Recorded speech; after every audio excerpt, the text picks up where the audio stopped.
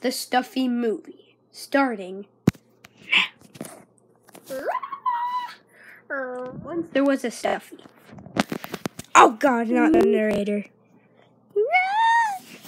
That was the Stuffy. Pretty retarded Stuffy.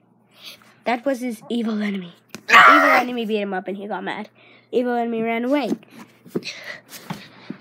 evil enemy. I don't even care about you. The, the, main character wanted to kill the enemy and suck his blood. And then he did. Ah! Suck his blood. And then all alone, he threw him off a cliff. Big. That was some good stuff. And that was the Stuffy movie.